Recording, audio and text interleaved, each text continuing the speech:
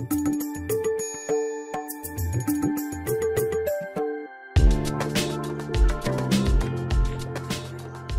hallo. Ähm, ich bin Stefanie von der Tatva Viveka. Neben mir sitzt meine Kollegin Alisa. Ähm, und heute begrüßen wir Carsten Dohnke bei uns. Hallo Carsten. Ja, hallo Stefanie und Avitia und Dankeschön für die Einladung. Ja. Gerne. Ähm, Carsten ähm, ist ein äh, Sinologe und ähm, er ist anerkannter internationaler Lehrer für Daoismus und Qigong. Ähm, und er lehrt die äh, mystische, mh, den mystischen Weg des Dao und gibt seine ähm, 40-jährige Erfahrung mittlerweile auch in Ausbildungen und Seminaren weiter. Magst du noch dich kurz ähm, ergänzend dazu vorstellen?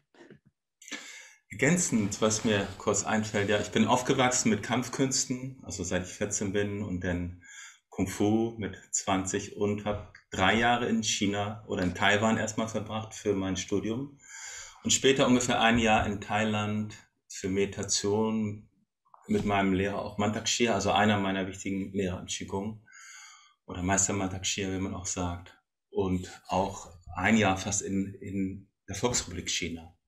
Mhm. So, genau. Also ich war fünf Jahre in Asien. Ja. Und das hat dann auch dazu geführt, dass allmählich so meine eigene Methodik entstanden ist, wie ich unterrichte. Ja. Mhm. Genau. Ja, spannend. Ähm, Carsten, wir sprechen heute über das Thema Beziehungen und Sexualität im Daoismus. Und ähm, also wenn ich mich so umgucke, dann stelle ich schnell fest, dass in der westlichen ähm, Welt vor allem, äh, auf die ich mich jetzt beziehe, äh, sind Beziehungen häufiger geprägt, auch von Konflikten, ähm, auch von ja eher einer gewissen Oberflächlichkeit, würde ich sagen, und ähm, sind auch nicht sehr langlebig. Ähm, was machen wir falsch? Was machen wir falsch? So also einmal, manchmal funktioniert das ja tatsächlich, schon mal was Positives. Und äh, wenn wir was falsch machen, vielleicht, dass wir zu wenig nach innen schauen, zu wenig äh, uns selbst kennenlernen und aus unserer Einsamkeit heraus oder diesem Alleinsein gern Zeit mit jemand anders verbringen wollen. Und dann kommen natürlich beide zusammen mit ihren auch Traumata oder ihren Lebensgewohnheiten. Und das nennt man auch in Asia, auf asiatischer Sicht oder aus asiatischer Sicht halt eine Aufarbeitung des Karmas, die dann passiert. Mhm. Und eigentlich, und das ist das tiefe Geheimnis, weiß man das in jeder Beziehung vorher, wenn man einen Partner anzieht, auf unbewussten Ebenen. Weil man kommt ja mit der Person, Person in Resonanz, die eine ähnliche Resonanz hat, wie man selbst hat. Ja. Mhm.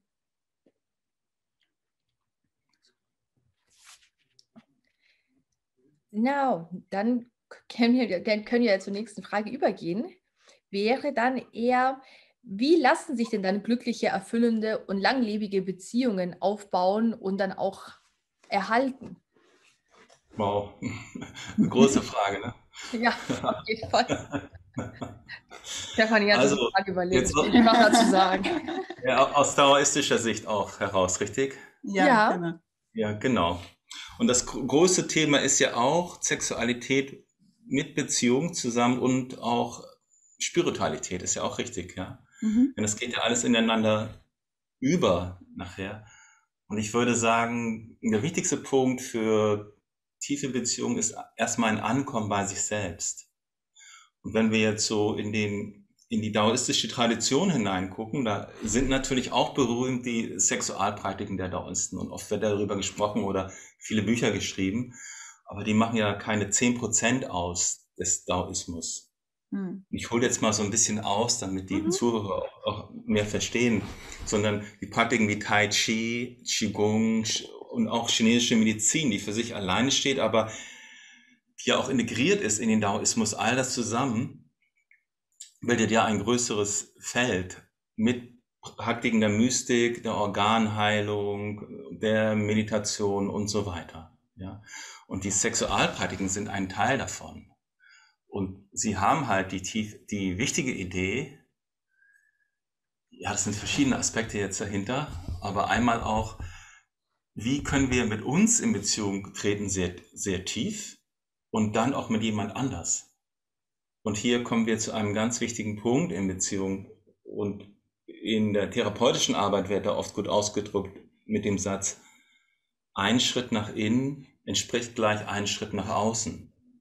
Das heißt, je mehr Kontakt ich mit mir habe, mit meinem Inneren, auch mit meinen Schattenseiten, desto mehr kann ich auch Kontakt zum Leben haben, zu anderen Menschen und in gute soziale Beziehungen treten. Hm. Und die Daoisten betonen halt einen Aspekt sehr besonders, nämlich das bei sich ankommen. Und das bei sich ankommen besteht darin, dass man wirklich seinen Geist abschalten kann und im eigenen Bauchraum ankommt, wie in einer inneren Kraft mit einem inneren Ruhepol. Und das braucht eine gewisse Zeit, das zu erlernen, ist aber auch nicht schwieriger als wenn man jetzt Gitarre lernt oder Klavierspielen lernt. So nach ein, zwei Jahren kann man da ja auch schon eine Menge. Ist doch richtig, oder? Hm. Ja, heißt dieses bei sich selbst ankommen ist ein Punkt und auch gut verwurzelt sein, also stabil sein. Und da guckt, vielleicht kommt das jetzt auch schon indirekt rüber, also wenn ich bei mir ankommen kann, in einem inneren Ruhepol, in einer Stabilität, dann kann ich ja dem anderen auch besser zuhören und die andere Person besser wahrnehmen. Hm. Und wenn wir schauen, wo sind denn die meisten Konflikte in Beziehungen, oder wenn wir das mal tiefer spannen in Bezug auf Mystik, wo ist denn das tiefste Thema dass man wirklich spirituelle Erfahrungen macht, wenn wir uns das anschauen, kann man eigentlich sagen, das tiefste Thema ist, dass wir die andere Person wahrnehmen und wirklich einen Bezug zu ihr haben, wir wirklich zuhören können, sie, sie fühlen können. Und auf der spirituellen Ebene, und jetzt kommt es, und da ist auch eine Parallelität zur Sexualität oder zur Beziehung mit anderen Menschen oder mit einem Partner, dass ich dem Leben zuhören kann, mhm. das Leben wahrnehmen kann. Und ich betone das jetzt so besonders, weil wenn wir jetzt mal einfach die nächsten 50 Leute auf der Straße interviewen würden oder kurz anhalten würden, ja, könnt ihr das Leben wahrnehmen, die wüssten, glaube ich, gar nicht, was ich meine. Oder wenn wir das gemeinsam fragen, die mhm. verstehen die Frage gar nicht. Weil sehr oft kreisen wir einfach um uns selbst. Leben wahrnehmen heißt dann im, im Urlaub mal das Meer sehen, etc. Bedeutet, da ist ein tiefer Fokus auf den eigenen Ruhepol in sich und eine Stabilität und gleichzeitig, das sieht man zum Beispiel auch im Tai Chi, was ja ein Element ist in dem ganzen Taoismus, eine Möglichkeit, harmonisch und fließend in Kontakt zu treten. Deswegen gibt es ja im Tai Chi auch diese ganzen Push-Hands-Bewegungen etc. Heißt, da kommt jemand auf mich zu und ich gehe in einen fließenden Kontakt und mit einer Welle, die dann entsteht, bewege ich mich mit der Person in eine Art Gleichgewicht, was auch dazu führen kann, dass man einen Angreifer abwehrt. Aber auf der psychischen Ebene ist es eigentlich eher die Art, wie gehe ich in einen gesunden Kontakt mit anderen Menschen. Mhm. So, das wäre der erste Punkt. Mhm. Soll ich noch was Zweites sagen? Ja, gerne. Mhm. Der erste Punkt ist der allerwichtigste, weil ohne die Stabilität, ähm, ja, funktioniert halt vieles nicht. Der, das zweite oder der zweite Punkt wäre, und also einmal wichtig vorweg, wenn so ein Interview ist, der Daoismus hat viele Facetten. Es gibt Bereiche, wo wir einfach nur in Stille sind, wie, oder mystische Bereiche, die wirklich so mit einer inneren Hingabe auch vorgehen, etc. Und andere Aspekte, die sehr das Tai Chi betonen oder andere Bereiche auch oder Bewegung betonen. Heißt, es ist keine kongruente Lehre, wo es sich um einen Aspekt dreht. Ich muss das vorweg sagen, bevor wir uns hier verlieren in den Details. Ja. Also auch für die Zuhörer grundsätzlich können wir sagen, es ist ein komplexes System mit drei Kernelementen, nämlich Einmal Selbstheilung, Vitalität. Ich glaube, kommt bei jedem gut an, wenn man das hört. Also auch Gesundheit. Die meisten Leute heutzutage sind erschöpft. Der zweite Punkt ist emotionale Heilung, also Umgang mit Stress, aber auch mit inneren Verletzungen. Und der dritte Punkt dann Spiritualität. So, diese drei Punkte machen den Daoismus aus und man nimmt dazu den eigenen Geist, eventuell Unterstützung auch von in der Alchemie von Kräutern oder guter Ernährung, aber besonders auch den Körper. Also es ist ein körperlicher Weg. Mhm. Was in dem Sinne den Daoismus so wichtig macht für die heutige Zeit, weil wir verlieren gerade unsere Körperlichkeit. In den letzten 20 Jahren besonders mit dem Aufkommen oder dem vermehrten Aufkommen von Internet und Handys und so weiter. Mhm. Und ihr fragt auch nach Sexualität, Begegnung mit anderen Menschen. Es ist natürlich alles körperlich, ja. Also wenn ich mich wirklich lebendig fühle, in mir, dann gehe ich auch lebendig in eine Beziehung hinein. Und Sexualität basiert ja darauf, dass beide eigentlich lebendig sind. Ja? Sonst kommt es ja meist zu gar keiner Partnerschaft. Das war jetzt so ein kleiner Einschub. Bedeutet, ausgehend davon, dass wir diese Lebendigkeit suchen und diese innere Lebenskraft suchen, haben die Daoisten sehr schöne Meditation entwickelt, wo wir danach streben, wie können wir unser Herz öffnen oder unsere praktisch Herzenskraft auch uns zunutze machen für innere Heilungsprozesse und wie können wir unsere Libido aktivieren, damit sie uns auch von innen nährt und, und trägt. Mhm. So, und das ist jetzt eigentlich ganz einfach und auf der anderen Seite sehr komplex.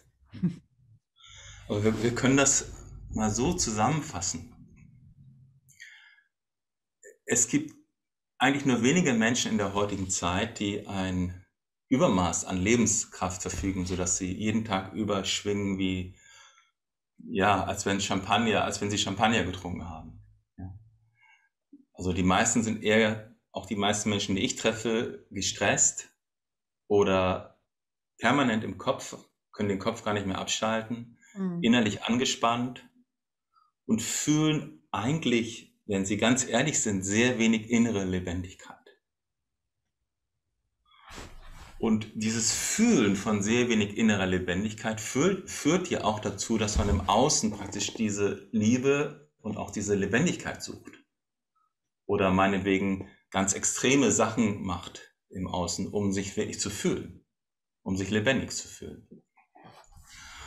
Und was das System oder die Systeme der Daoisten in der Meditation sehr stark macht, finde ich, und für unseren Alltag heutzutage von solcher Bedeutung ist, dass die Daoisten eigentlich gelernt haben, die Kraft des Herzens zu aktivieren und die Libido zu aktivieren. Und jetzt kommt der nächste Punkt und beide Kräfte im Körper zusammenzubringen. Und zwar in der eigenen Mitte. Und das ist der. Zur Lebendigkeit. Was denn? Das führt dann zu der Lebendigkeit.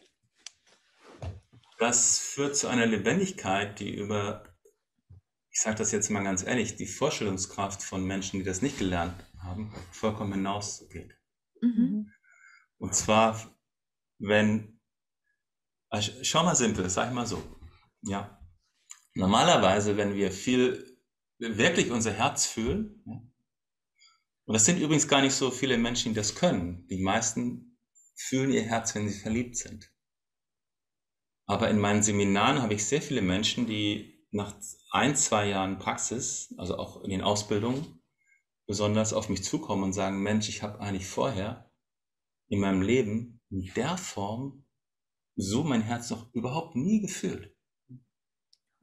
Das ist sowieso ein durchgehendes Licht, was einen umhaut.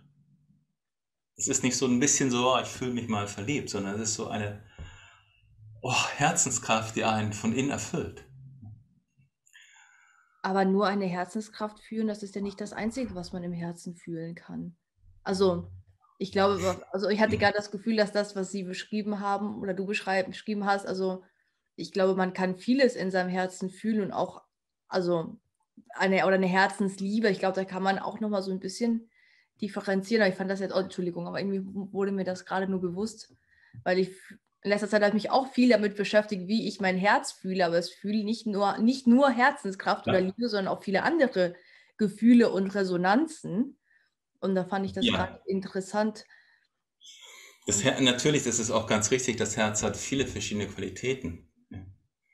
Und um es simpel zu machen, die Grundidee im Daoismus ist erstmal, wie auch in anderen spirituellen Praktiken, ob Christentum oder Buddhismus etc., dass wir unser Herz wirklich öffnen. Mhm.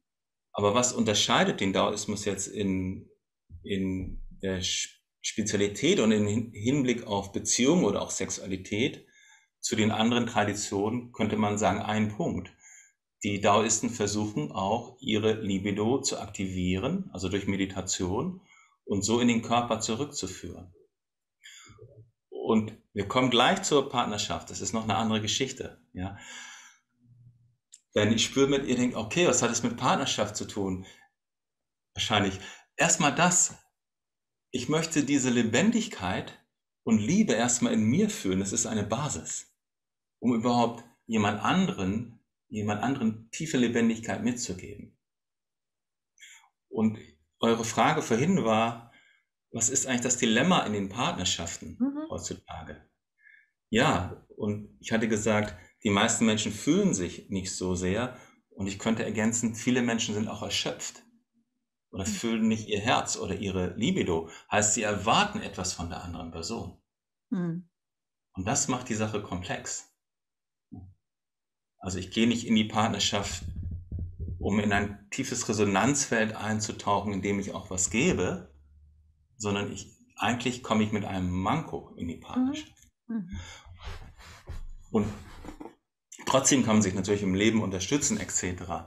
So, jetzt sagen die Daoisten, Mensch, wenn wir unsere Lebendigkeit erst selbst in uns aktivieren, dann können wir natürlich in tiefe Prozesse gehen der Selbstheilung und der Energiegewinnung, Energiegewinnung.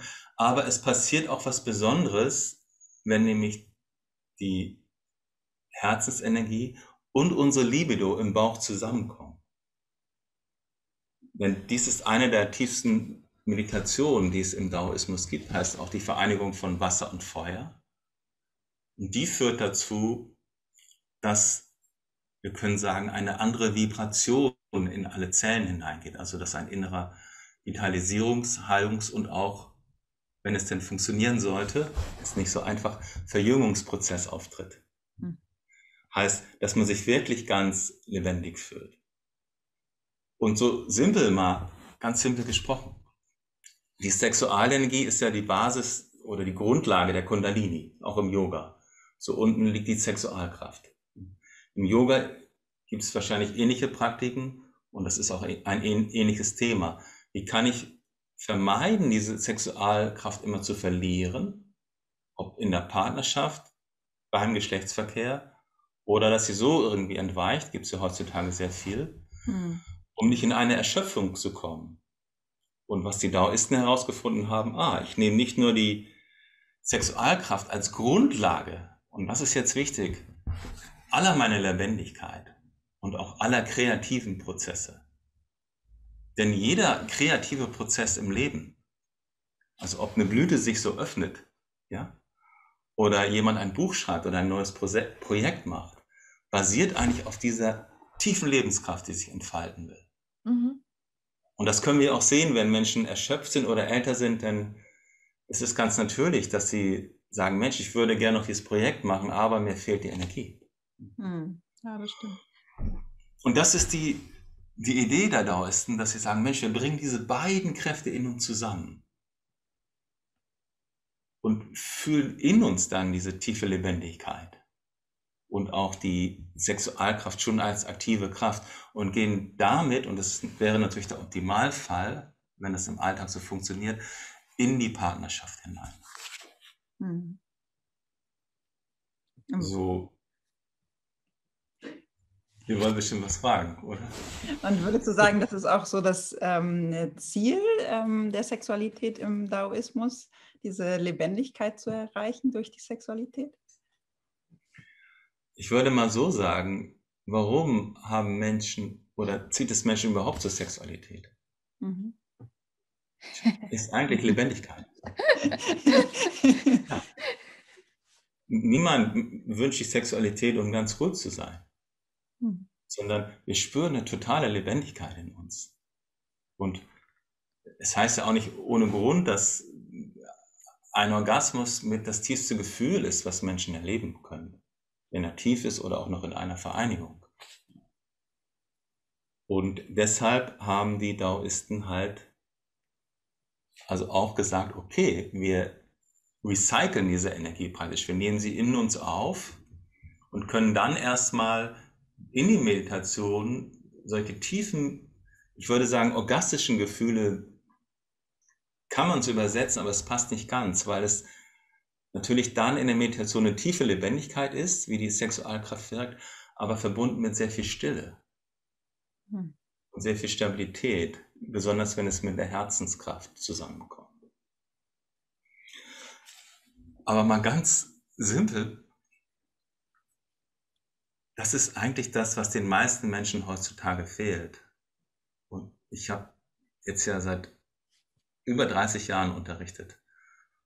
Und so viele Teilnehmerinnen und Teilnehmer gehört, die gesagt haben, wow, hätte ich das schon mal eher gelernt. Also wirklich bei mir ankommen, meine Liebe fühlen, ohne dass ich einen Partner habe. Meine Lebendigkeit in mir fühlen, in einer Präsenz und auch in einer Ruhe. Und das gibt auf jeden Fall ein sehr gutes, ein sehr gutes Fundament für alle Partnerschaften. Denn guckt mal simpel, wie tief geht vielleicht oder ging eure letzte Partnerschaft, ihr habt auch gesagt, es gibt so, kommt und geht schnell heutzutage, ja, oder Freundschaft, wenn eventuell der Partner gar nicht mehr anwesend ist oder einfach immer erschöpft ist. Hm. Oder wenn die Leute überarbeitet sind und immer nur im Kopf kreisen und vielleicht den Partner oder mich oder euch oder jeden anderen Menschen auch nicht mehr wahrnehmen, mhm. dann endet halt schnell eine Partnerschaft, mhm. weil man fühlt sie nicht mehr gesehen und fühlt sie nicht mehr verbunden. Ja, und dieser Herz-zu-Herz-Kontakt geht verloren. Und die Evolution hat ja was ganz Besonderes kreiert für uns, das den meisten Menschen gar nicht so bewusst ist dieser Herz-zu-Herz-Kontakt, ah, ah, die Evolution ist manchmal clever, ja, aber gegen unseren eigentlich, gegen unser Gefühl. Der Herz-zu-Herz-Kontakt besteht ja hauptsächlich, wenn man erstmal verliebt ist. Bei Mann und Frau. Dann blüht alles auf und alle schweben auf solcher rosaroten Wolke. Ist ja auch ein ganz tolles Gefühl. Aber wie es auch heißt, man ist ja verliebt, also man ist nicht mehr ganz bei sich, nicht mehr ganz mit seinem inneren Pol verbunden. Man hat sich schon ein bisschen verloren. So, wenn man denn in der Beziehung ist, geht nach ein, zwei, drei Jahren schnell der Herz-zu-Herz-Kontakt verloren, weil sich übrigens auch die ganzen Hormone und alles ändern. Mhm. Dann gibt es eine andere Phase in der Beziehung. Mhm. Und viele Menschen erwachen dann auf einmal und merken, huch, wo bin ich hier eigentlich reingeraten?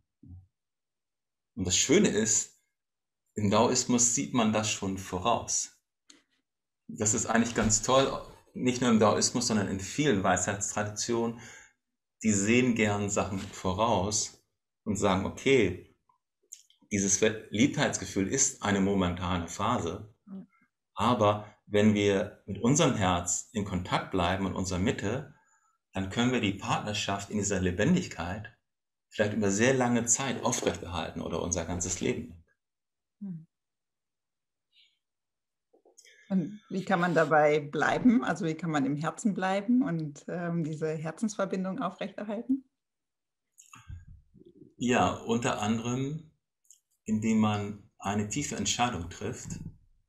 Die ist nicht einfach, dass man auch regelmäßig innere meditative Praktiken macht für sich selbst. Das ist das Entscheidende.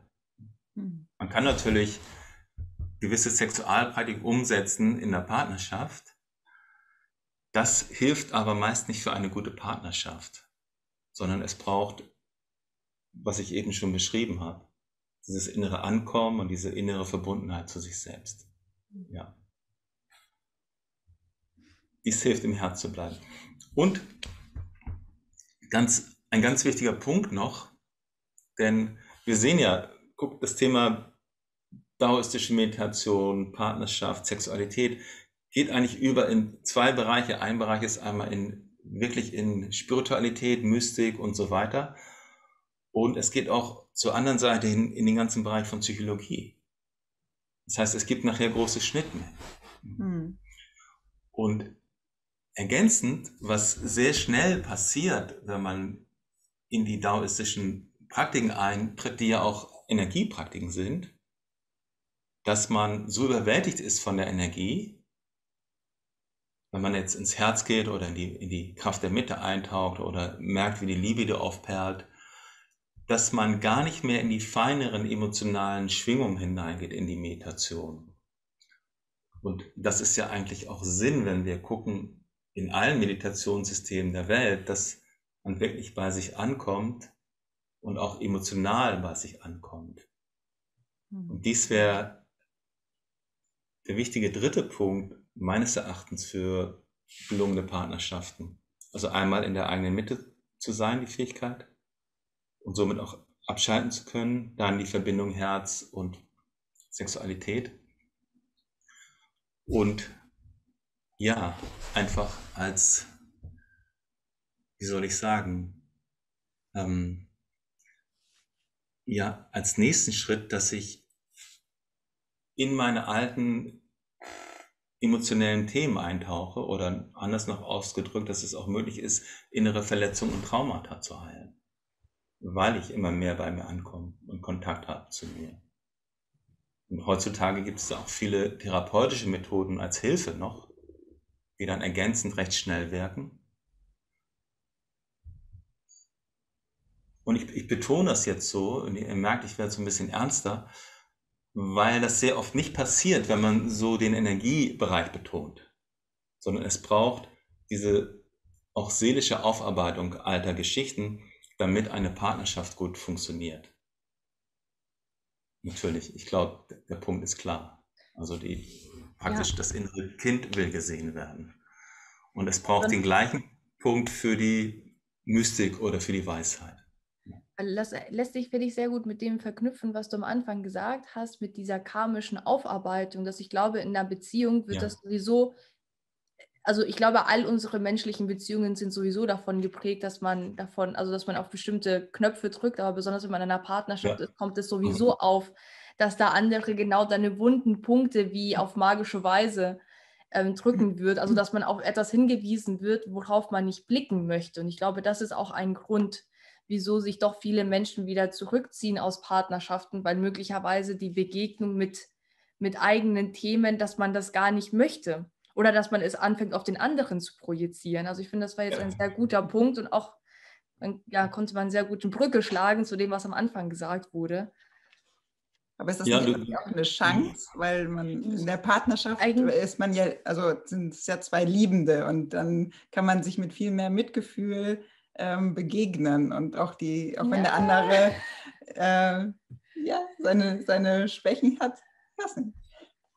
Es ist immer eine Riesenchance. Und wenn ich so sage, wenn man mehr in die Mystik geht oder in die Spiritualität, dann begegnet man dem ganzen Leben. Es dreht sich ja schlussendlich um eine Einheitserfahrung mit dem Leben. So, wenn ich dem ganzen Leben begegnen möchte, wäre es vielleicht gut, ich kann erstmal einer Person auch tief begegnen oder, ein, oder mehreren Menschen in meinem Umfeld. Ja? Weil jede Person, der ich begegne, ist ja das Leben in purer Form dann mit all ihren Themen. Und wie er das, wie er das schon so schön gesagt hat, natürlich kommen dann unsere Themen zueinander. Und das ist eine Riesenchance. Und ganz spannend ist natürlich auch, man, man ahnt es ja schon vorher, man zieht ja jemand an, der zu einem passt, irgendwie auch von den Themen her. Und die Außenstehenden wissen oft schon vorher, die sagen, okay, wollen wir mal gucken, wie lange das gut geht, zum Beispiel. Oder, ja, oder sagen, Mensch, die passen beide wirklich sehr gut zusammen. Ja. Und dann kommen wirklich die Themen zueinander, man merkt, peng, ja, gerade wenn dieses erotische Verliebtheitsgefühl des Beginns vorbei ist. Aber spannend, wir können dem ja nicht entweichen. In der nächsten Partnerschaft kommt die gleiche Geschichte wieder auf uns zu. Hm. Ja, das. Ja. Das wolltest du sagen, ist das, Ja, aber das finde ich etwas sehr Spannendes, weil das beobachte ich schon sehr lange auch in meinem Freundeskreis, also dass es bestimmte Freundinnen oder Freunde gibt, die sich da einfach wie in einer Schleife drehen. Also bei der dritten oder vierten Freundin oder Partnerschaft immer wieder die gleichen Themen aufkommen. Und häufig fällt es auch eher Freunden oder Familienmitglieder auf, so wie, hey, du bist irgendwie wieder in einer gleichen ja. Situation wie schon die letzten Male gewesen. Ich glaube, wenn man mhm. eher so Psychologie- und Spiritualitätsbücher mal liest und sich da ein bisschen so durchforscht und ein bisschen beobachtet, dann merkt man, irgendwie Themen kehren immer wieder zurück, bis sie wohl, bis man ihnen irgendwie wohl anders begegnet. Also, ja, und hier, das ist toll, wie du es sagst. Und hier gibt es ja viele spannende Zusammenhänge. Und im Daoismus mag ich einen Ansatz sehr, weil die Daoisten sagen eigentlich, wow, wir sind auf dieser Welt und wir haben eine Chance, innerlich zu wachsen und zu mhm. entfalten. Heißt, einmal spirituell, aber auch im Alltag. Wir können unser Potenzial entwickeln, unsere Weisheit, unsere Beziehungsfähigkeit, unsere Lebendigkeit etc. Und es ist spannend, dass gerade in der Gehirnforschung, ja, Gehirnforschung kommt hier auch noch mit rein, ja, viele Menschen festgestellt haben, wenn man jetzt so Gehirnforscher fragt, wie kann man sich denn wirklich verändern?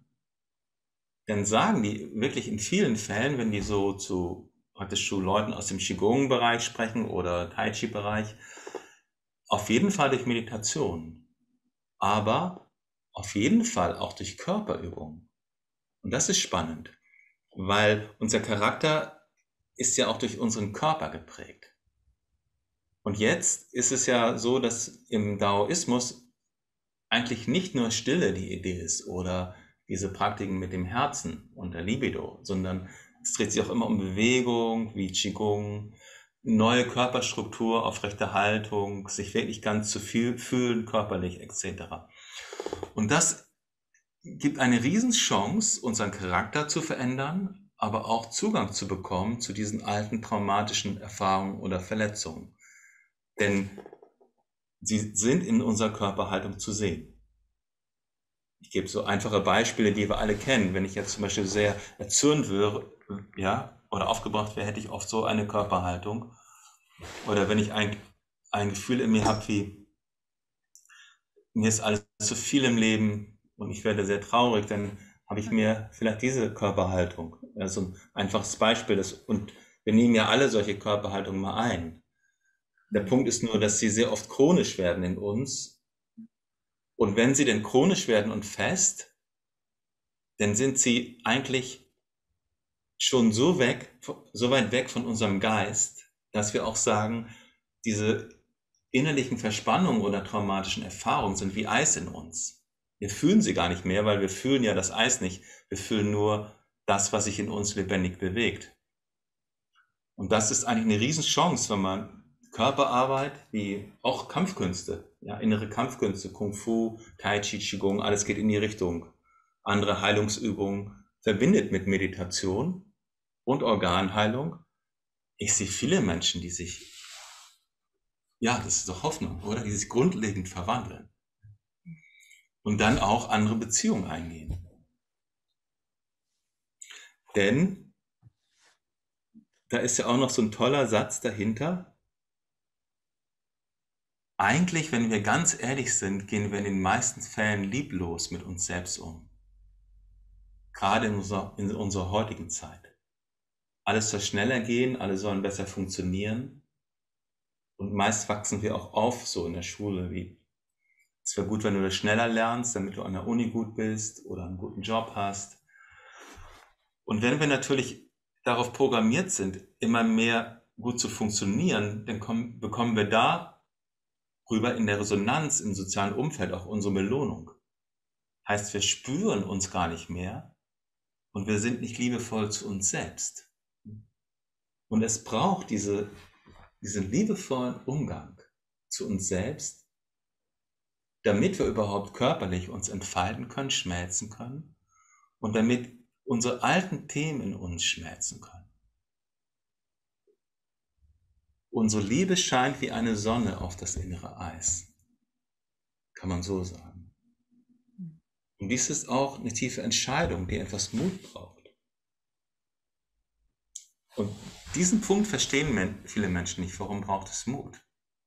Weil ich eine Entscheidung treffe aus diesem Funktionieren, wie ich gesellschaftlich vielleicht aufgewachsen bin, herauszugehen.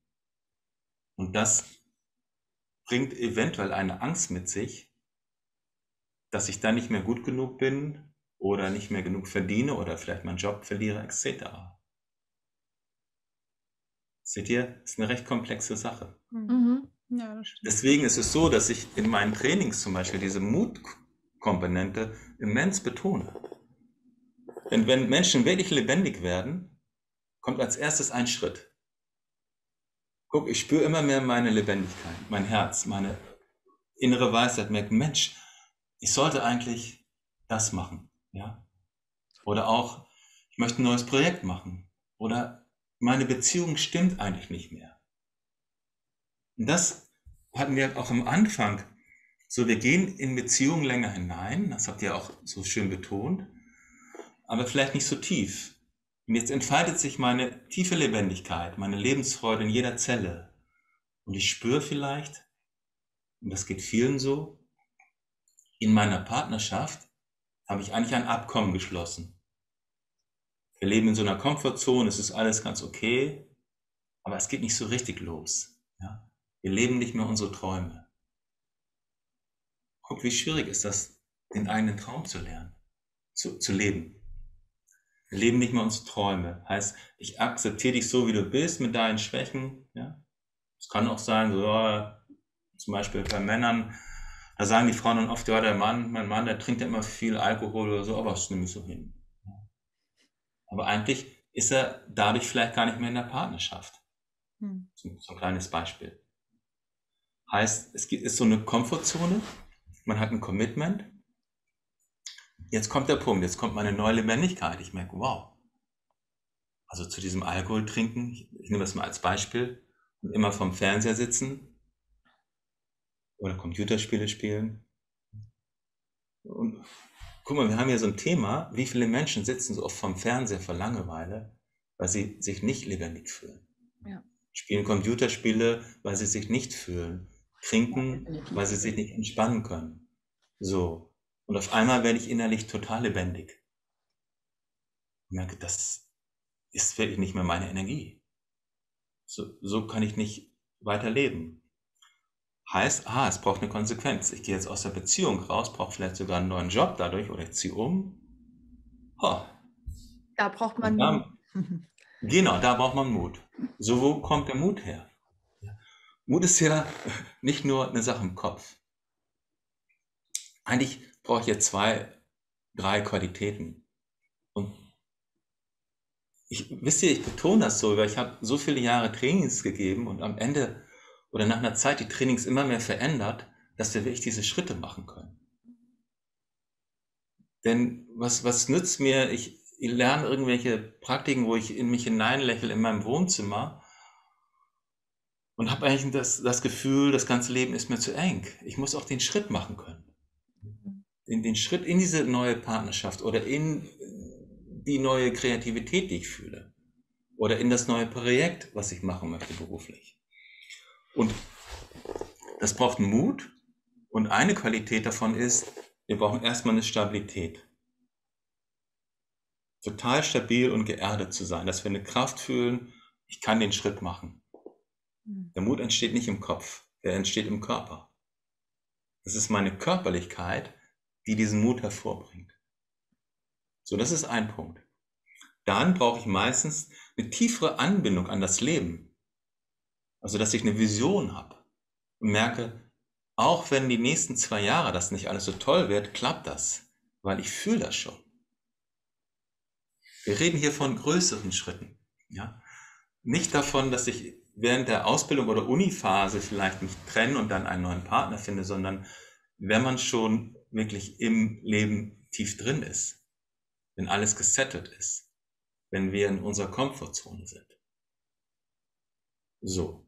Und dann kommt, kommt ja eigentlich erst ein tiefer kreativer Teil in uns durch. Diese inneren Lebendigkeits-, Weisheitsschübe und diese ganze innere Entfaltung des Herzens passiert meistens nicht während unserer, unserer Studienphase oder Ausbildung, sondern später. Heißt, ich brauche eine Vision, eine Anbindung, eine tiefe Stabilität, ein Vertrauen und auch eine innere Power und eine Flexibilität. Und deswegen haben die Daoisten all diese Elemente zusammengebracht, wie Kampfkünste, Tai Chi, Organheilung und auch Sexualpraktiken, Meditation, chinesische Medizin etc. Und nachher ist es gar nicht so schwierig. Ja. ja, wenn man dann alles kann, dann, dann wahrscheinlich nicht. Also ehrlich gesagt. Dann kannst du endlich die Veränderung ja. wagen. Es ist ganz spannend, weil die meisten Menschen sagen eigentlich, ich habe keine Zeit für Verschiedenstes. Aber schaut, guck mal, wir haben doch auch Zeit, um zu verlieben und eine Partnerschaft einzugehen. Ja? Oder Zeit, einen tollen Urlaub zu machen. Es gibt aber in uns eine Tendenz, dass wir eigentlich nur das für wahrnehmen oder für wichtig oder real halten, was wir mit den Augen vor uns sehen. Und dann merken wir, okay, jetzt da muss ich eine Aktion machen. Mhm. Nur, das war ja der Bereich, über den wir auch gerade schon gesprochen ha haben. Unsere Seele, ich sage jetzt mal so Seele in Anführungsstrichen, weil jeder weiß, was gemeint ist, unser innerer Teil. Unsere Seele braucht auch ihren Raum. Es ist wichtig, dass ich jeden Tag eine innere Ruhe habe, damit ich überhaupt das Leben verdauen kann, damit ich überhaupt bei mir ankommen kann. Und mit mir tief in Kontakt bin, damit ich mich überhaupt fühle, meine Lebendigkeit wahrnehmen, weiß, welche richtigen Entscheidungen ich treffen könnte hm. und wie ich und tief in Beziehung gehe. So, Forschung zufolge, da gibt es ja viele Forschungen, wie, wie viele Menschen machen überhaupt therapeutische Arbeit oder meditieren regelmäßig. Also nicht nur therapeutische Arbeit, wenn einmal im Jahr oder alle fünf Jahre, sondern dass sie wirklich an sich arbeiten. Das sind drei Prozent der Bevölkerung. Das ist nicht so viel, wie man ahnt. Und es gibt dieses tiefe Gesetz der Resonanz, wenn ich meiner Seele halt Raum gebe, gebe und das Leben so tiefer verarbeiten kann, dann kann ich anders in Resonanz treten. Also auf einer Ebene, wie man sie äußerlich nicht sieht, ziehe ich dadurch andere Dinge an, weil ich versuche in mir was zu klären oder kläre was über die Zeit. So gibt es eine neue Resonanz. Und in dem Sinne kann ich sagen, mir haben viele Menschen erzählt, ich habe keine Zeit.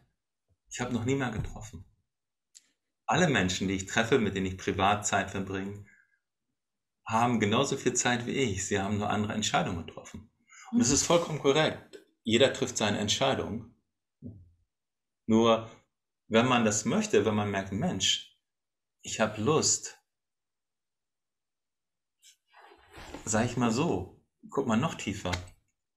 Ich bin auf dieser Welt und habe Lust, tiefer zu verstehen, warum bin ich denn hier?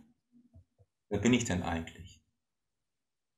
Und das ist ja auch eine Grundlage für Beziehungen. Wenn ich gar nicht weiß, wer ich bin und wo ich hingehöre, heißt ja auch Belonging and Becoming. Also Zugehörigkeit und Werden oder auch Ankommen bei sich und in Beziehung gehen. Also wer bin ich eigentlich? Wo gehöre ich hin? Was sind meine Potenziale? Und wo gehe ich nach diesem Leben hin? Es ist eine Riesenchance, das zu entfalten in unserem Dasein. Und dadurch entfaltet sich somit unser ganzes Dasein. Und ehrlich gesagt fällt mir auf, dass viele Menschen sehr oft, gerade wenn die aktive Arbeitsphase nicht so erfüllend ist oder wenn sie vielleicht dann auch in Rente gehen oder nicht ihre Position gefunden haben, dass sie einfach keinen Sinn finden in diesem Leben. Hm. Und versuchen irgendwie mit Puzzle spielen, Kreuzworträtsel, Bier trinken oder sonst was für Geschichten, den Tag auszufüllen. Mhm. Ja. Also eigentlich im Kern gelangweilt sind. Mhm. Und in dem Sinne, es lohnt sich, Praxis zu machen. Ja, das macht wirklich Spaß. Und verändert die Sicht des Lebens und bringt neue Partnerschaften, neue Erkenntnisse, macht alles lebendig. Und geht bis ins hohe Alter. und man ja, wir können es hoffen. Was denn? Und man benötigt nicht so viel. Also ich glaube, das ist ja auch ein großes Thema, glaube ich, auch in unserer Zeit, die Suffizienz. Also dass diese Genügsamkeit. Und ich glaube, das ist auch etwas, was spirituelle Praktiken mit sich bringen, dass man nicht so viel um sich herum benötigt weil wir ja letztlich auch in einer Welt leben, die uns immer oder in einer Gesellschaft, die uns immer wieder sagt, was wir zusätzlich brauchen, um etwas zu tun. Also du brauchst diesen Gegenstand oder diese Reise, um dich dann so zu fühlen. Ja. Aber es zeigt dir, dass du eigentlich erstmal deinen Körper, deine Seele und deinen Geist brauchst. Ich stimme dir total zu. Und, und noch hinzufügend, gerade diese Betonung der Körperlichkeit im Daoismus hilft uns, in Stresssituationen oder nach mentalen Prozessen, meinetwegen fünf Stunden E-Mails machen oder am Computer was schreiben oder Bürojobs, das haben ja viele als Tätigkeit. Das ist halt einfach unser digitales Zeitalter. Gerade die Körperlichkeit hilft uns dann ganz wieder bei uns anzukommen. Mhm. Denn viele Menschen sind ja von der Energie eigentlich hier oben und dann wird es im Herz schon ganz dünn, im Bauch noch dünner und die Füße fühlen sie kaum noch. Hm. Eigentlich wäre unsere Energie so umgekehrt wie eine Pyramide, heißt der Geist, da wäre es schön, wenn er ganz klar und ruhig ist, das Herz weit und, und offen und wir haben eine Stabilität im Bauchraum und sind gut geerdet. Und in diesem zweiten Zustand stimme ich dir total zu. Wenn ich dann schon bei mir angekommen bin, entsteht natürlich auch eine innere Erfüllung durch Praktiken. Und wenn vieles simpler ist, macht es manchmal viel mehr Spaß. Also Simplizität und Einfachheit auf einer gewissen Weise können den Tag füllen. Mhm. Beispiel, weil ich freue mich, wenn ich zwischendurch, vorhin habe ich es auch gemacht, oder täglich meine Praxis machen kann. Und wenn nichts zu tun ist, mache ich noch eine Stunde länger, weil es ist so erfüllend. Und dann kann man auch noch mal einen schönen Film gucken weil dann gibt ein Film auch noch neue Impulse. Oder tiefer in die Partnerschaft gehen und gemeinsam was machen. Mhm. Aber umgekehrt, wenn ich ganz erschöpft bin und leer bin und mich gar nicht mehr fühle, ja, dann hilft das Außen auch nicht. Aber wir, wie ja. du sagtest, bekommen dann so ein Verlangen, weil wir fühlen uns so leer. Ja. So, es muss ganz gutes Essen sein oder ganz viel. Ja. Und oft noch irgendwelche Drogen. Also schau mal, das sind ja auch gesellschaftliche Themen gerade in Deutschland. Ich glaube, 30 Prozent der Bevölkerung, ich hoffe, ich irre mich nicht, sind übergewichtig und zwar immens. Bedeutet, weil sie sich gar nicht fühlen, essen sie ja auch so viel. Hm. Oder meinetwegen umgekehrt essen gar nichts, weil ja, dieser Gegenpol von ich, ich spüre mich nicht mehr, so ich brauche nichts mehr essen. Ja. Und wie viele Leute nehmen Drogen heutzutage? Irgendwelche Aufputschmittel, Alkohol, Nikotin, um sich lebendig zu fühlen. Das sind riesige gesellschaftliche Themen oder um den Kopf abzuschalten. Und viele Men Menschen in anstrengenden Berufen, wie auch im Management, haben kaum die Chance, abends den Kopf abzuschalten. Das geht dann in, in den meisten Fällen nur über Alkohol. Guckt in der Corona-Zeit Beispiel auch, das habe ich extra beobachtet, hat sich der Alkoholkonsum in Deutschland zweieinhalb bis verdreifacht. Mhm. Warum? Die Menschen könnten nicht umgehen mit dieser neuen Isolation, Einsamkeit. Es fehlt was. Also wird viel mehr Alkohol zu sich genommen. Ja. Aber simpel, aus Sicht des Immunsystems ist das natürlich totaler Quatsch, weil zwei Glas Alkohol geht mein Immunsystem so runter. Ja? da brauche ich auch keine Maske mehr tragen. Weil wenn alle halb besoffen sich im Treppenhaus treffen, dann ist das ein kleiner Spaß am Rande. Aber ja. Und ich finde, neben dem tiefen spirituellen Aspekt und dem Aspekt von Selbstheilung und auch das Thema Partnerschaft, die alle abgedeckt werden vom Daoismus und auch Stressprävention, ja, ist ganz wichtig auch zu sehen, was ihr auch gerade angestoßen habt. Was sind denn unsere gesellschaftlichen Themen eigentlich? Also Beziehungen funktionieren nicht richtig und Menschen sind erschöpft oder leer etc. Mhm. Und abhängig von Drogen und, und so weiter. Und aus meiner Erfahrung heraus hilft es nicht dann nur zu sagen, okay, wir meditieren mal alle eine halbe Stunde. Das reicht nicht. Denn komplexe Themen brauchen oft auch komplexe Antworten. Und deshalb mag ich diese Praktiken so, weil man kann die Menschen gut abholen und ich konnte mich auch gut abholen. Denn ich bin auch über den Körper gestartet. Hm. Ja. Ja, wenn wir nochmal ähm, zur Sexualität zurückkommen. Ja, wollen wir doch mal machen jetzt. ja. Die letzten fünf Minuten noch. ähm, was sagen denn die Daoisten oder was verstehen sie unter der sexuellen Energie und was machen sie damit? Also einmal verstehen sie natürlich darunter wirklich das, was wir auch verstehen, die Sexualkraft. Mhm. Besonders die Kraft in den Hoden oder Ovarien als gespeicherte Energie der Fortpflanzung, aber auch die Energie im ganzen Bereich der Geschlechtsorgane. Und zusätzlich gibt es hier eine wichtige, ganz wichtige Information, vielleicht für euch oder die Zuhörer, die das nicht wissen. Die Sexualkraft entsteht in der chinesischen Medizin und auch im Daoismus eigentlich in den Nieren. Bedeutet, die beiden Nieren, die hinten im Rücken liegen, oder noch genauer gesagt, diese Wandlungsphase Wasser, wo die Nieren das Hauptelement sind und der untere Rücken dazugehört, aber auch die Blase.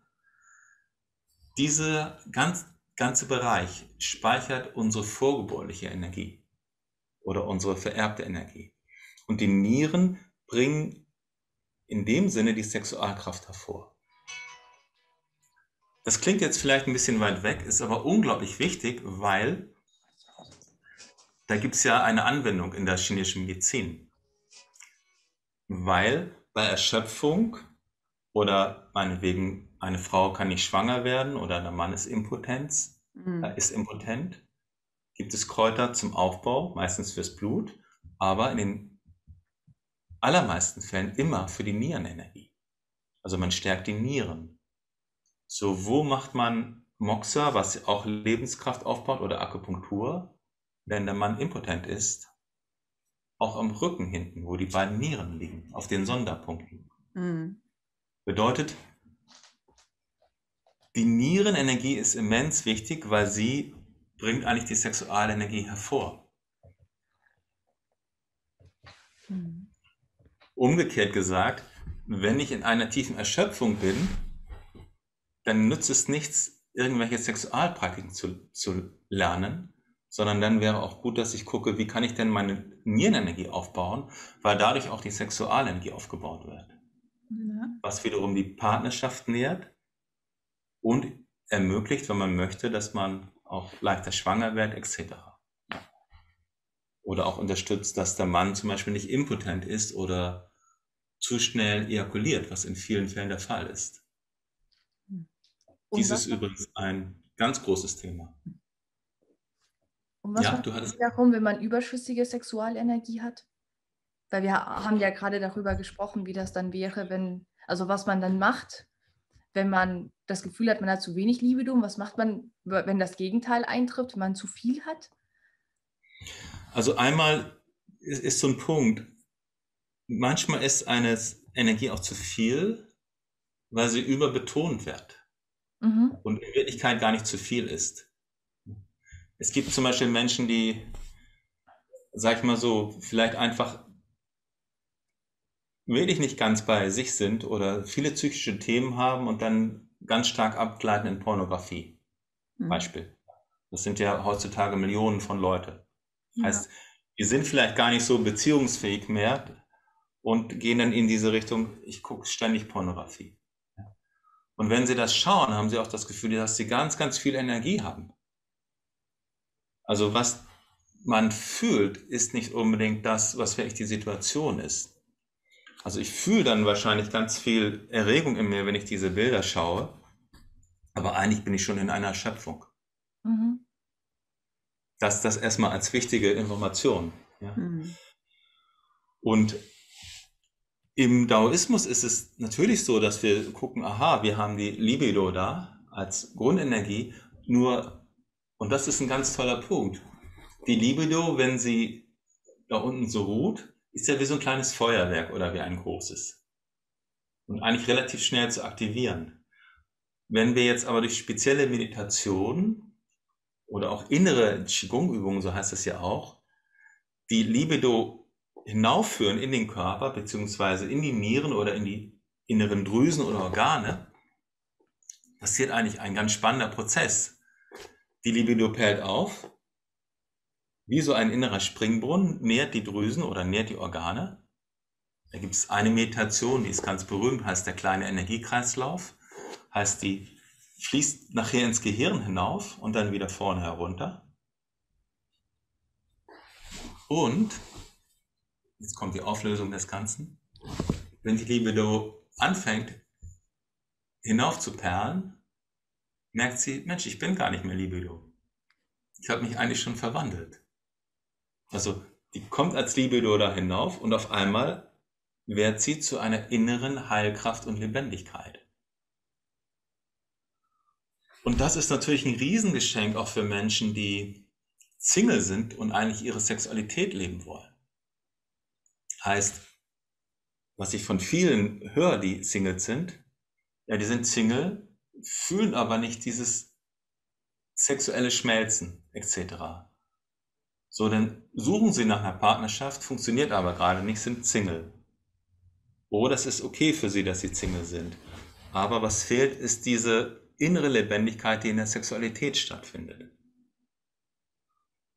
Das ist genau das, was dann passieren kann, wenn man oder was sich ereignen kann, wenn man jetzt diese inneren Meditationen lernt. Man merkt, oh, das hat ja so einen ähnlichen Geschmack, ich fühle mich total lebendig, aber jetzt perlt diese Kraft nach oben und vielleicht sogar bis ins Rückenmark, bis ins Gehirn hinein. Übrigens, das ist auch kein Spaß jetzt, was ich sage. ja, das wird manchmal als Spaß genommen, aber ich hatte gerade die letzten Monate oder den letzten Monat von zwei Menschen ein Feedback, die wirklich zu Tränen gerührt waren im Seminar, also wirklich die Tränen liefen und vollkommen verändert und sagten, nach vier Tagen Kurs und dann eine Woche hinterher praktizieren, hat sich wirklich ihr Gehirn verändert. Hm. Weil vorher waren sie so überlastet, dass sie sich einiges nicht mehr merken konnten oder einfach nur abgesch noch abgeschaltet haben oder keine neuen kreativen Ideen mehr hatten ist natürlich besonders, wenn Leute schon älter sind als 30 oder 40 und noch mehr, wenn Leute vielleicht 60 sind oder 70. Und die Praktiken der Daoisten heißen eigentlich auf Chinesisch Huan Jing Bunao. Man kehrt die Essenz um, also Essenz ist Nieren und Sexualenergie, weil die Sexualkraft ja von den Nieren kommt, und leitet die Essenz jetzt zurück ins Gehirn, damit das ganze Gehirn gut arbeiten kann. Aber aus Sicht der, können wir sagen, der Chakralehre oder der Meridianlehre natürlich auch, damit sich diese höheren Energiezentren öffnen und wir unsere Intuition verbessern und eine innere Weisheit erhalten können. Hm. Und so mal in der Umgangssprache gesagt, die Praktiken sind der Hammer. Die verändern das Leben jeder Person. Und die sind nicht so schwierig. Ich konnte mir das gar nicht vorstellen früher, dass das geht. Aber es ist relativ einfach zu lernen. Und das ist schon ein Hammer, wenn die Menschen merken, ihre Herzenskraft fließt runter wie ein Nektar in den Beckenboden und dann fließt auf einmal durch die Wirbelsäule eine Lebendigkeit von Liebe und Libido ins Gehirn und der ganze Geist wird unendlich weit. Und das kann man in einer Woche lernen, wenn man möchte das zu perfektionieren braucht ein bisschen Zeit. Ja. Aber nach meiner Meinung ist das heutzutage für alle Menschen hilfreich, weil es gar nicht so schwierig ist. Das ist eine Möglichkeit, was macht man mit, der, mit dem Überschuss an Libido? Und wenn dieser Überschuss einmal aufgeperrt ist, dann wirkt es auch eigentlich so wie eine Art innerer Sekt im Körper. Und da ist nicht mehr so ein Bedürfnis, weil ich muss jetzt unbedingt Sexualität haben. Übrigens ist das auch ein, ein Grund, warum ich von vielen, auch Kollegen von mir oder Kolleginnen, die diese Praktiken gelernt haben, schon gehört habe, ja, wir unterrichten sowas auch manchmal in Gefängnissen etc. Weil gerade da oder in, in Jugendanstalten etc., mhm. weil die Menschen da isoliert sind, auch noch in traumatischen Situationen oder weggesperrt. Und dann merken sie, ich kann meine Lebendigkeit, meine Libido gar nicht mehr fühlen. Und oft geht das dann dahin, dass sie selbst masturbieren etc. oder ihre, einfach ihre Kraft verlieren. Ja, oder weil sie die Sexualität nicht ausdrücken können, in vielen Fällen auch in Gewalt. Ja. Hm. Besonders bei Männern. Mhm. Dies ist ja eh ein, ein tiefer Punkt, da wären wir fast schon bei einem anderen Thema. Sexualität braucht eigentlich immer auch eine Abrundung, eine Verbindung mit tieferen Schichten in uns. Und bei Männern ist es so, weil die Männer sind ja sehr young, also sind ja aktiv in der Partnerschaft auch. Wenn ein Mann keine Erektion hat, gibt es keinen Sex, richtig. Und aus chinesischer Sicht geht die Erektion einher mit der Energie der Leber. Also die Leber mit ihrem Blut bewirkt, dass eine Erektion stattfindet. Und übrigens basiert das ja alles auf der chinesischen Medizin, die es ja schon über 2000 Jahre gibt. Also da gibt es ganz, ganz viele Forschungen. Das ist nicht so vor ein paar Jahren mal ausgedacht. Mhm. So, die Leber hat zu tun mit unserer Dynamik, mit unserer Power mit unserer Freundlichkeit, aber auch mit unserer Wut. sagen wir auch so, wenn einer immer so gespannt ist, sagen wir, sag mal, was ist dir denn über die Leber gelaufen? Ja. Hm. ja. Weil man merkt ja, und dann sagen die meistens, wieso, was soll denn sein? Bei mir ist nichts. die sagen nie, ja, mir geht's wunderbar, sondern die sagen, was soll denn sein? So, und dann merkt man schon, das ist die ganze Leber. Ja. Und heißt, wenn ich dann mit dieser Anspannung in mir in Sexualität hineingehe oder in eine Beziehung als Mann, und viele Männer haben ja viel Anspannung in sich, auch durch den Stress heutzutage, dann mischt sich meine Sexualkraft mit meiner Wut. Und das führt auch zu diesem tragischen gesellschaftlichen Phänomen von Vergewaltigung, so, so Vergewaltigungen, sogar Kindesmissbrauch und so weiter weil da ist so eine Power, so eine Spannung und die weiß nicht wohin. Mhm. Mhm. Und gerade bei der Wut ist es ja so, dass sie oft unterdrückt ist. Also manchmal kommt sie richtig hervor, da sieht man sie deutlich, aber auch Leberenergie. Leber hat auch zu tun mit Müdigkeit. Also wenn die Leber voll ist, so kennen wir auch so nach so einem Essen, so dies gegessen, noch ein Eis drauf, ja, noch irgendwas. Ist so eher so, oh, so müde. Und viele haben so eine Leber, die einfach erstmal eine Leberreinigung bräuchte eigentlich, ja, damit sie wieder frisch ist. Heißt ja so eine Müdigkeit in sich und Trägheit. Und man sieht die Aggressivität nicht, aber unter der Trägheit ist die ganze Wut. Die Wut wird meist gecovert, wenn sie nicht deutlich hervorkommt. Und man denkt dann so, oh, es ist ja ein netter Kerl. Ja. Aber sobald einer auf der Straße was sagt, kommt so, ja, kommt das alles raus. Mhm. Ja. Oder beim Fußball gucken kommt das raus zum Beispiel. Wie kann Dann kommt die ganze Geschichte raus. Dann merkt man so, oh. Und dies ist einer der Gründe, das haben wir ja vorhin kurz erwähnt, ja, warum ist es wichtig, wenn wir die daoistischen Sexualpraktiken lernen, wo wir dann noch Energie hochziehen können ins Gehirn und als Frau das auch hochziehen können. Heißt, wo der Mann dann eigentlich gar nicht mehr diesen Orgasmus, den äußeren, so oft hat, um sich zu entspannen und den ganzen Stress loszulassen. Also wenn er denn das nicht mehr hat, dann braucht er auf jeden Fall eine Praxis, um diese Energie zu recyceln, aber auch um innerlich diesen Stress in sich abzubauen. Und deswegen sind die Meditationen so wichtig. Und ich sehe auch in dem Sinne eine gewisse Gefahr da, darin und deswegen zeige ich gar nicht mir so gern diese Kurse in zwei Tagen, sondern lieber als Teil meiner gesamten Ausbildung, denn es ist wirklich nur ein Teil. Wenn Menschen ein Wochenendseminar buchen möchten in Sexualenergie, mit eigentlich nur der Idee, ich will besseren Sex haben. Denn wenn man diese Sachen lernt, dann wird automatisch die Energie wesentlich mehr und in vielen Fällen auch die Wut, die da versteckt ist, wesentlich mehr. Wut ist nur ein Punkt. Ja. Mhm. Aber ich glaube, es ist deutlich zu sehen, dass bei dem Mann durch diese Yang-Energie und die Leberspannung es viel mehr zu diesen Übergriffen kommt. Vergewaltigung, Gewalt in der Ehe und, und, und. Das ist ja ein Riesenthema. Mhm. Und ja, da haben die Daoisten halt auch viele Übungen, wo sie die Organe umarmen oder in die Organe hinein. Lächeln ist eine bekannte Methodik, aber es dreht sich nicht nur um ein Lächeln, sondern das Organ wahrzunehmen und so ein neues Licht, neue Präsenz da hineinzugeben. Auch das ist nicht so schwer. Kann man auch mal machen, statt einen Film zu gucken oder so. Oder mit dem Partner, der Partnerin gemeinsam. Und sobald man denn da hineinguckt, lösen sich schon viele innere Spannungen.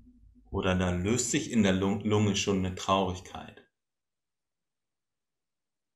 Lunge mit Traurigkeit hat viel zu tun. Hm. Heißt, wenn ich öfter Meditation mache mit dem Herzen, wo ich dann das Herz in die Lunge scheinen lasse, dann gibt es definitiv auch eine Veränderung. Und damit ist es dann auch viel leichter, die Sexualenergie als Teil der Gesamtenergie im Körper aufzunehmen. Mhm. Jetzt habe ich ein bisschen mehr über den Mann gesprochen da. Ja, ich wollte gerade sagen, ähm, jetzt hast du schon ähm, so über den Mann gesprochen und ein bisschen auch über die Frau, aber was würdest du denn sagen, ähm, wie sehen die Daoisten so die Rolle des Mannes und der Frau in der Beziehungs Beziehung beziehungsweise in der Sexualität? Ja, also einmal wichtig, so kurz gesagt würde ich sagen, für den Mann wichtig, er verbindet die Sexualkraft mit seinem Herzen. Aber das passiert beim Mann normalerweise nicht. Durch die Verbindung mit seinem Herzen kann er tiefer in die Beziehung gehen und viel leichter diese Praktiken umsetzen. Und es gibt ja auch daoistische Sexualpraktiken, wo man dann wirklich länger Sex hat, beziehungsweise wo beide die Sexualenergie in sich hinaufführen oder wo das auch noch ausgetauscht wird auf einer tieferen Ebene. Also auf einer eher feinstofflichen Ebene.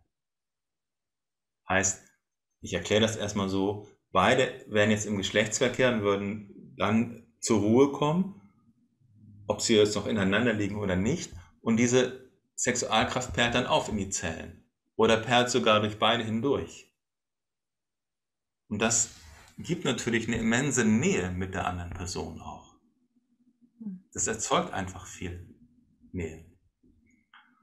Und für den Mann wäre daher am wichtigsten, überhaupt die Verbindung mit dem Herzen zu erfahren und rauszukommen aus diesem Muster, dass praktisch mir so ein Urinstinkt da kommt, oh, jetzt habe ich Sex. Und der sich vielleicht noch mit Power, Anspannung oder Wut mischt. Oder in, im schlimmsten Fall mit Gewalt. Mhm. So. Jetzt wollt ihr auch noch wissen, was wäre für die Frau wichtig. Na klar. Ja, das ist interessant. Bei Frauen sagen, also viele Frauen in auch Seminaren sagen dann, Mensch, Carsten, hast du toll erzählt, aber es fällt mir eigentlich schon relativ leicht, die Energie so hochperlen zu lassen. Und ich spüre auch ganz schnell mein Herz. Und das stimmt auch in vielen Fällen, weil wenn eine Frau sich verliebt, so haben wir festgestellt erstmal, und das ist ja jetzt auch bei jedem Menschen anders, aber wenn wir so statistisch gucken, Frauen fühlen noch mehr ihr Herz und noch leichter und können tatsächlich relativ leicht so Sexualenergie im Körper aufperren lassen. Und manchmal passiert es auch von sich alleine. So, was wäre mehr deren Thema? Stabilität und bei sich ankommen. Könnte ich sagen, zusammenfassend. Mhm. Denn bei den Frauen gibt es einen, einen Punkt, vielleicht auch deshalb, weil sie halt schwanger werden können und in unserer Evolution für die Kinder da waren immer, also seit Jahrtausenden und die behütet haben, dass sie sehr schnell in die Beziehung hineinschmelzen. Also da ist eine neue Beziehung und als Frau ist es viel leichter, weil man dann nicht tief bei sich ankommt, in der eigenen Mitte, in der eigenen Ruhe. Oh, man verliert sich in der Beziehung, schmilzt in der Beziehung. Und vergisst sich dabei. Und das hört sich sehr positiv an. Es hat natürlich auch eine Qualität, dieses Schmelzen, aber das geht einher mit einer Verlorenheit. Bedeutet, wenn es dann zu einer Trennung kommt, dann kollabiert das eigene Leben. Und das sind natürlich komplexe Themen, aber ich sag mal so, nach unseren Forschungen und nach meinem Erfahrungsschatz hat das auch zu tun mit dem Thema Kinder bekommen. Und dann auch wenn ein Kind da ist, zum Beispiel hat die Frau ja viel mehr Nähe noch zu dem Kind als der Mann. Weil der Mann hat auch eine Nähe zu dem Kind, aber in vielen Fällen spielt der Mann gern mit dem Kind, wenn es dann schon richtig laufen kann oder so. Dann kann er mit dem irgendwie Ballspiele machen und sowas.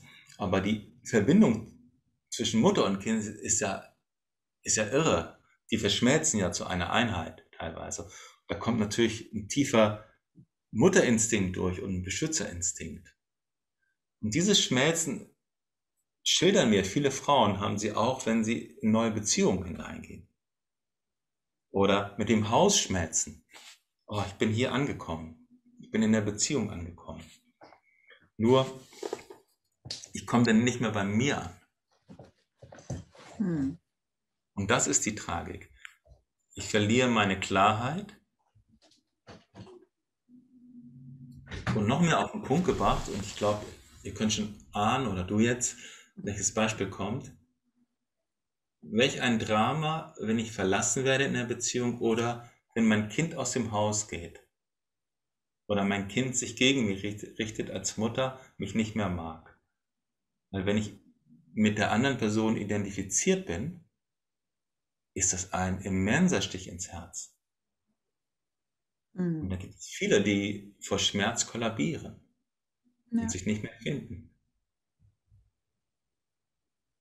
Und das nochmal zusammenfassend ist eigentlich der Kernpunkt im ganzen Daoismus als erstes bei dir selbst ankommen und dann noch mehr bei dir selbst ankommen und noch mehr bei dir selbst ankommen. Und durch dieses Ankommen kommt dann die tiefere Beziehung zu meinem Herz, zu meiner Liebesfähigkeit, zu meiner Libido und auch eine tiefere Fähigkeit in die Beziehung zu gehen mit Klarheit. Mhm. Genau. Denn Beziehungen brauchen ja auch Konflikte. Wir leben ja von Konflikten. Also Konflikte sind jetzt nicht nur negative Konflikte gemeint, sondern es gibt ja im Alltag, immer im Beziehungsraum Dinge, die zu klären sind, wo wir uns überlappen, wo wir uns reiben. Ob das zwischen dem Partner ist oder zwischen Mutter und Kind. Oder in der Familie oder in der Firma, in der Gesellschaft. Und dadurch wachsen wir ja. Und wenn ich jetzt verschmolzen bin, dann bin ich nicht mehr konfliktfähig, weil ich denke, wie kann mich die Person kritisieren? Ich bin ja mit ihr eigentlich oder ihm eine Einheit. Mhm. Und das ist das große Dilemma. Ja.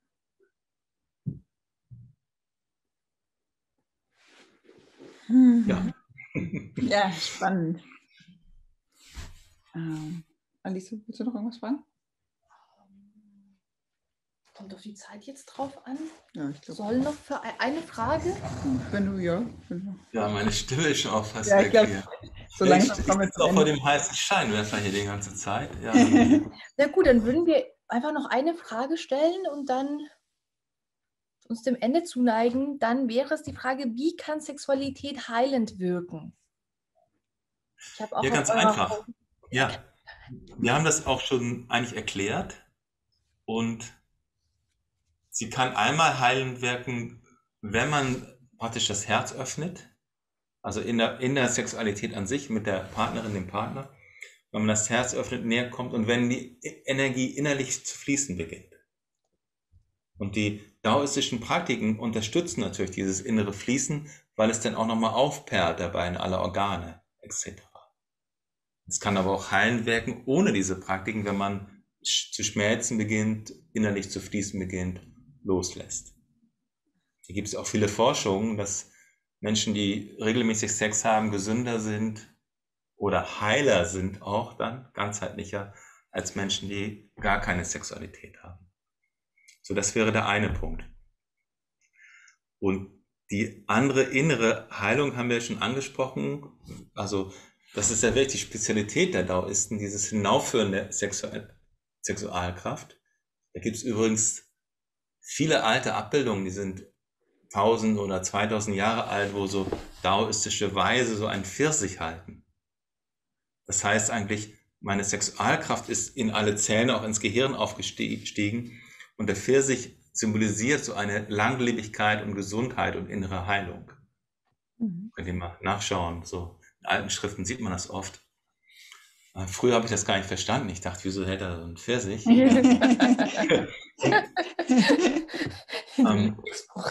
das war es das. Die Forschung in dem Bereich ist natürlich relativ neu. Wir können sagen, es gibt Forschung, dass wenn man regelmäßig meditiert, ein innerer Heilungsprozess entsteht und auch so, dass die Telomere der Chromosomen, also im Bereich der Zellen, der DNA, sich wirklich eine Art Verjüngungsprozess ereignen kann. Wenn man regelmäßig meditiert, auch wenn man regelmäßig fastet übrigens, das sind zwei ganz wichtige Dinge. Und aus der Erfahrung heraus, besonders wenn Herz- und Libido-Energie im Körper vorhanden ist und neue Impulse in die Zellen gibt, das jetzt als sexuelle Praxis für sich, aber auch beim Geschlechtsverkehr, wenn diese Energien in uns wirken, also die Liebe und die Libido. Hm. Bedeutet, ich glaube aus meiner Erfahrung heraus, dass es stimmt, dass diese tiefen Praktiken der daoistischen Meditation wirklich zur Zellverjüngung führen. Also heißt nicht, dass man immer jünger wird, sondern dass die Zellen eine Chance haben, in dieser tiefen Stille der Meditation durch die neuen Ressourcen, die da wirken. Da wirken ja wirklich Ressourcen. Also ist ja nicht nur, dass man still wird, sondern da kommt eine ganz neue Energie hinein, dass dadurch die Zellen von innen in diese Zellautophagie treten können, also in eine Zellselbstheilung und der ganze Körper gesünder werden kann.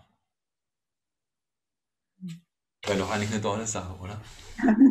Ja, ja. super. Und wann bist du das nächste Mal in Berlin? Seid ihr in Berlin? ja, ich war früher noch also in Berlin. Ich Seminare und Ausbildungen gesprochen, da muss diese Frage schon jetzt zwingend gestellt. Nein, das war ja nicht. ja, ich, ich kann gerne mal zu euch kommen, wenn ihr möchtet. Ja, die Ausbildungen sind jetzt in Frankfurt und in Holland gerade. Mhm. Ja. ja. das ist für uns. Und die größeren Kurse im Moment auch viel Holland, Belgien oder Frankfurter Raum, Köln. Ja. Hamburg auch nochmal. Ja, genau. Ja, spannend. Aber wir würden teilnehmen. Ja, wir würden teilnehmen. Ich glaube. Ja, gerne. ja, dann ich halte mir die. Also zusammenfassend kann ich vielleicht nochmal sagen, das ist, klingt natürlich alles sehr komplex, aber man kann, wenn man das wirklich möchte, nach ein, zwei Jahren schon eine ganze Menge lernen was wirklich beziehungsverändernd ist. Und so mehr Liebe in die Beziehung bringen, aber auch mehr Selbstliebe erfahren, immens viel Stress reduzieren, gesünder werden, das sind doch wirklich Geschenke, aber auch flexibler und kreativer. Und wer wünscht sich das nicht? Hm. Ja, gerade in der heutigen Wenn wir nochmal vielleicht, ein, weil es dreht sich ja auch um Spiritualität.